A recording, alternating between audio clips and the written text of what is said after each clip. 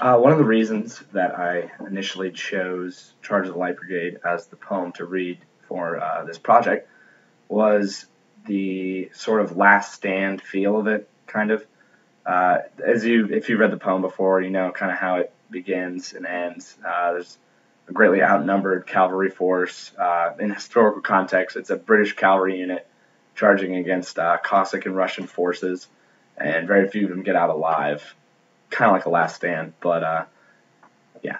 Uh, growing up, I read. I like to read uh, a lot of books, and um, some of the things that stood out the most to me were last stands in history, kind of like last chance for an army to have like immortalized glory to be remembered forever for a heroic, brave deed.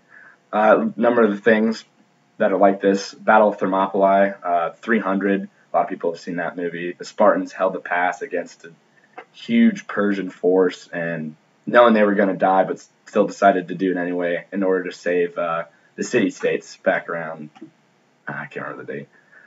Um, also, one of the uh, another event much later in history um, was the Battle of Bastogne uh, during World War II, which was in France, mainly, I think it was late winter 1944, in which uh, American forces were pushing to, towards Germany, getting pretty close, and uh, the town of Bastogne was key significance um, to uh, territorial getting into Germany.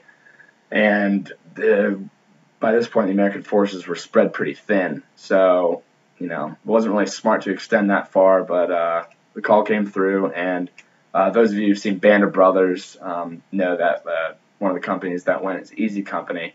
So they parachuted in there and almost instantly surrounded by, I think it was 15 divisions of German like infantry and heavy armor. And they managed to hold it and win the battle, which is just incredible. The bravery to go up against that many opposing enemy soldiers with like almost assured destruction is pretty selfless. New formal elements that I think help convey the poem's effectiveness so well include the repetition of phrases such as cannons to the right of them, cannons to the left of them, cannons ahead of them, into the valley of death, um, into the mouth of hell, really helps convey the sort of overwhelming force that the British Army is charging into, and it the repetition of it keeps hitting the reader, knowing that there's almost a certain death for the writers. And then the other formal element that I think um, helps convey the poem's effectiveness so well is the sounds, because it really puts the reader. Typically, the audience probably doesn't have any wartime experience, but the the sounds of the swords flashing and the cannons firing, uh, the onomatopoeias, the constant use of those kind of puts the reader in sort of like the heat of the battle. The Charge of the Light Brigade by Lord Tennyson Alfred. Half a league, half a league, half a league onward, all in the valley of death rode the 600. Forward the Light Brigade, charge for the guns, he said. Into the valley of death rode the 600. Forward the Light Brigade. Was there a man dismayed? Not though the soldier knew someone had blundered. Theirs not to make reply, theirs not to reason why, theirs but to do and die. Into the valley of death rode the 600. Cannon to the right of them, cannon to the left of them, cannon in front of them, volleyed and thundered, stormed at with shot and shell. Boldly they rode and well into the jaws of death, into the mouth of hell, rode the 600. Flashed all their sabers bare, flashed as they turned in air, sabering the gunners there, charging an army, while all the world wondered. Plunged in the battery smoke, right through the line they broke. Cossack and Russian reeled from the saber stroke, shattered and sundered.